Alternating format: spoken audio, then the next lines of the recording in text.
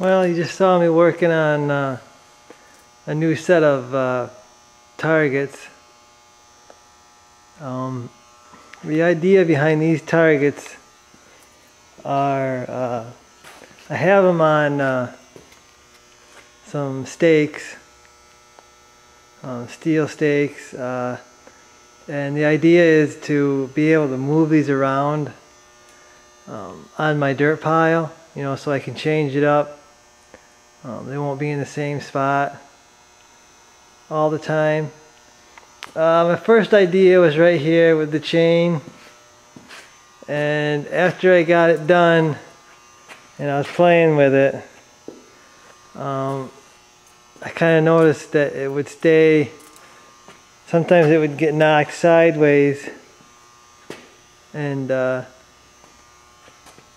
you know, not come straight. You know, it come it mostly, you know, it, it, that's as far crooked as it goes. But I still, I kind of want it to stay straight. So the second one I come up with was this one here. And I mean, it's just a nut and a bolt. And uh, you can see it kind of swings there. Now that one's always going to stay straight. So I think I, I'm probably going to make another one of these. Um, you know, probably I'm going to double nut that so the nut can't come off. And uh, I think this is going to work out better. I'm going to take it out. I'm going to take both these out and just, see how this one works. Um, I've already got it made. And uh,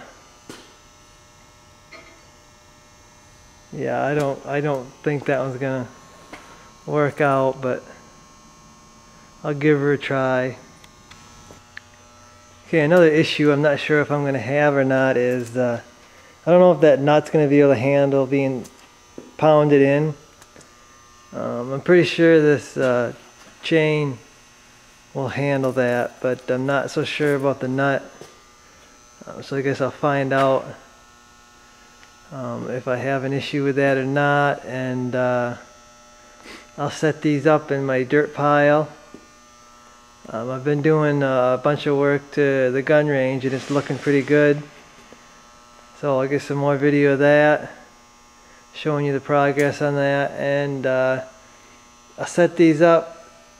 Probably do a shooting video um, testing these out so stay tuned for that. And uh, that's it. I guess I'll see you guys in the next one.